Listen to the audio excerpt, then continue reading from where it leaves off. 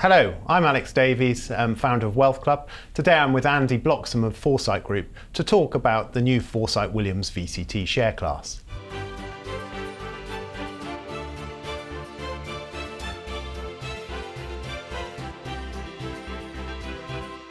So, Andy, tell me about the um, Foresight Williams VCT. What is it? So, this is a new VCT share class which is following exactly the same investment strategy as our Foresight Williams EIS fund, which has been in the market for, for three years. The premise of, of, that, of the fund, the EIS, and now the VCT share class is to capitalize on both Foresight's proven SME investment experience. We've been in the market for 30 years and we've, we've made, return good, made good returns for investors.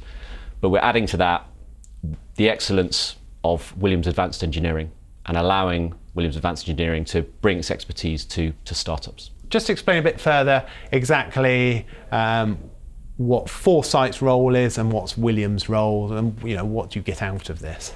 Okay, Williams have provided their engineering excellence a consulting capacity to lots of blue chips, and they wanted to be able to provide the same advice to startups. That was effectively the, the premise of the fund. Foresight is a proven SME investment manager. So the collaboration of those two entities is a, brings a unique product to the market. It's effectively a joint venture on a day-to-day basis. So we work as one team, but Foresight focus very much on the, the, the financial side of any business and the portfolio management side, and we've, we've got proven expertise in that capacity. Williams bring their te- technical expertise to predominantly sourcing investments from different places, helping us particularly on the due diligence side and the technical capacity, and then also providing their expertise once we've invested to help the companies over problems from an engineering point of view, redesigning their product perhaps, or scaling up their manufacturing capability. So give me an idea of the types of company you're looking for them. Sure. Now, I like to summarize this by, by saying hard tech. And you can think of hard tech as hard to touch, hard to do, and hard to copy it's hard to touch because they're generally a device that's been engineered or manufactured, and that allows the Williams engineers to really help the company solve problems, make their product better, or optimize it for production, or just help the company build up their production facilities. Hard to do because generally the founding teams have really deep technical understanding, and often the, the companies that we look at are spin outs from universities, not directly spin outs, but we'll probably do one stay, one investment round later than that but they probably originated within a, within a university. And then finally, hard to copy because we're looking for novel technology that's defensible. We aim to invest in these companies for a long period of time. There, well, I say long period of time, four to eight years is the period that we state in the in the fund documentation, and that all being well should allow any of the companies we invest in to generate a very attractive return. And we hope that every investment that we make should have a chance to make at least 10 times return. Okay, as you say, so you launched an EIS um, version of this a few years ago. Um, the VCT might not invest in the companies you've invested in already, but it's going to be, it, might well do, and it's probably a lot of the same sort of thing. So tell me, give me some examples of EIS investments you've made under sure. the Foresight Williams banner. So some of the most recent investments. First company is called Open Bionics. They're based in Bristol. It's a robotics company originally. Well, that's, that's the, the experience of the founder. But what they're building is a prosthetic bionic arm.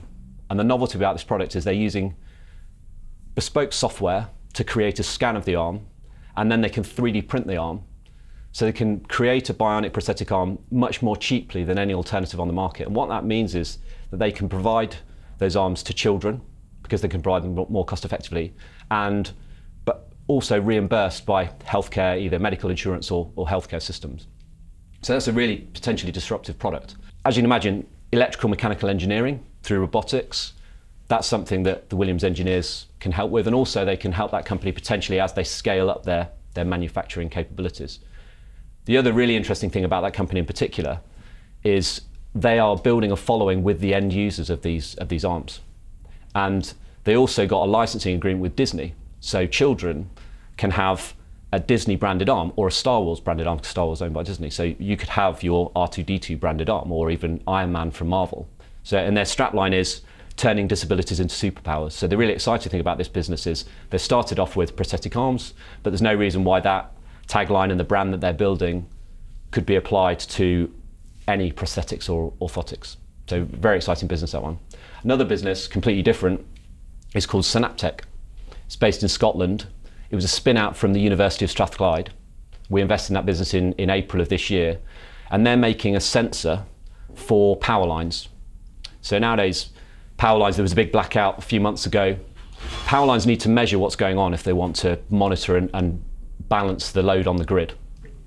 And it's very expensive to put sensors along power lines, particularly in remote areas like the Highlands of Scotland or, or a desert where you've got a cable going from overground to underground, or, or even nowadays, offshore wind arrays, wind turbines. This company have developed a completely new type of sensor that actually uses fiber optic cables. So nowadays, most power lines have fiber optic cables embedded in the middle of them. And this company, by using fiber optic and effectively light waves, it's completely passive. Doesn't require its own power supply, doesn't require its own communications infrastructure that any other type of sensor would need. And it can send signals at the speed of light across great distances. So this allows a power company to monitor a whole network of, of power lines really efficiently, way more efficiently than anybody else. So again, very disruptive product, deep technical understanding of the, the academic founders.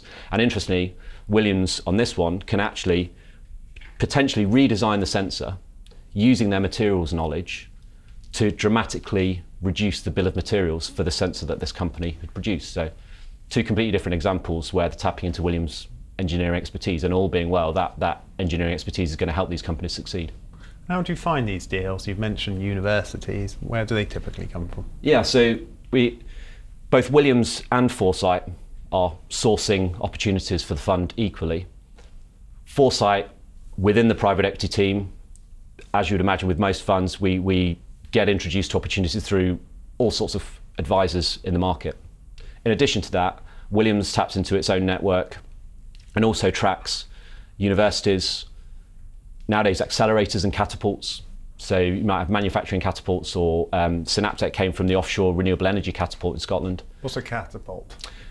Catapult is effectively like an accelerator, but most of the accelerators say SETsquared is an accelerator attached to a university. So they might take the spin out from the university and then help them position their opportunity for investors. So just, just help them work through some of the, the initial problems and help them pitch to investors and make it a more credible proposition. And catapults to do something similar but not necessarily attached to a university. So they're, okay. they're almost providing advice to those companies in the very, very earliest stages before they take institutional investment.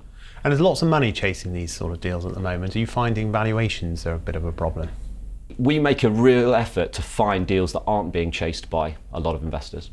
So yes, I guess particularly in London, deals tend to be competitive and valuations are probably higher now than they've been for, for a long time. We make an effort to source as many deals as we can from outside of London.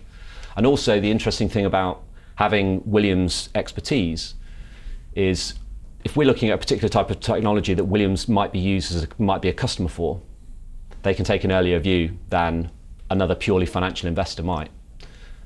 And also, with a lot of founders seem to be very attracted to working with Williams and having that expertise that Williams brings. So we're able to get into a competitive process that maybe another financial investor might not be able to get into, which really sets us apart. And often we can get better value deals as a result. And who should go into this? You know, usually, you know, VCTs have got lots of existing investments in them. Or why would you want to go into this?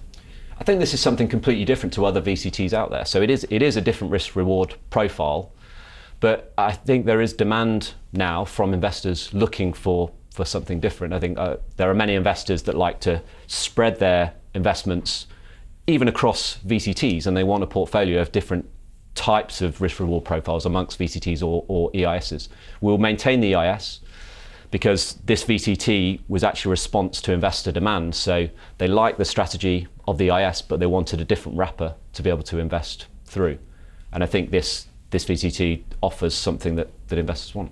How involved are you, or how involved are Williams maybe in, in running these companies once um, you have invested in them?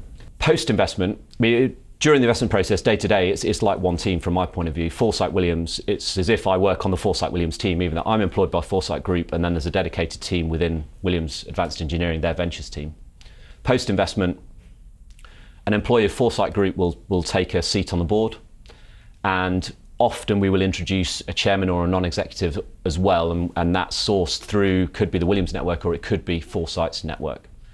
In addition to that, Foresight have a dedicated portfolio manager, and the purpose of that role is to build a relationship with our investee companies and to, as far as possible, package, uh, identify areas of work where Williams Advanced Engineering could help those companies on a paid basis, but discounted against uh, a normal blue chip client.